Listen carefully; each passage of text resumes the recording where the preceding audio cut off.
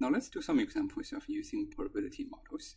Our first example is this case of using two coin flips.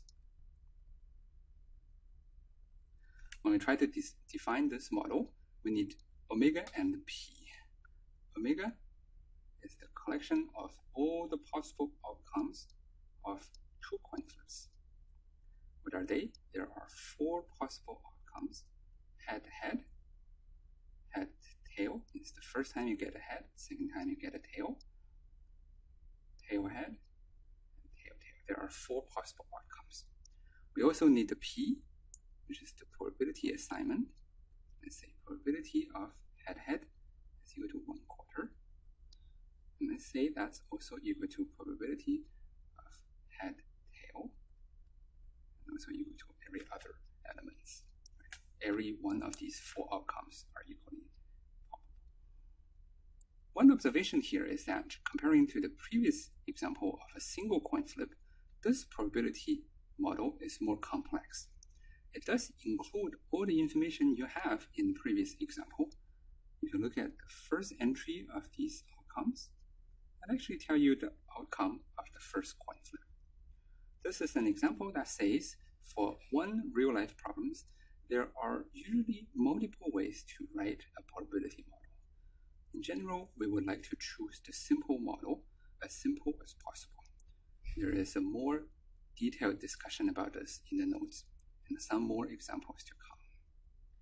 This is also a good time to introduce another important concept called an event. An event is a subset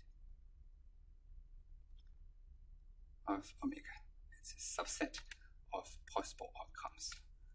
Some examples, let's use colored pen. Let's say event A in English, it says that my second flip, flip is a tail.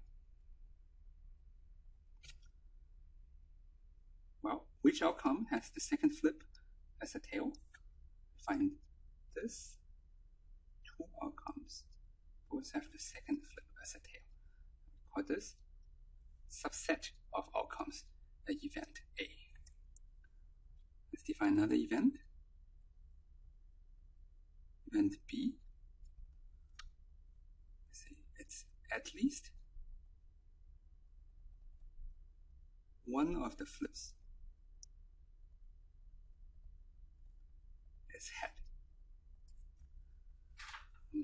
look at these outcomes. Which outcome has at least one of them is a head? We can see these three outcomes will satisfy that. So this set of outcomes is what we call B. Let's do one more. C says that uh, you can define it very simple.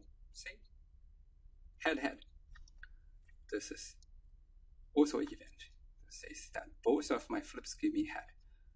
So this some set has only a single element called C. These are some examples of events.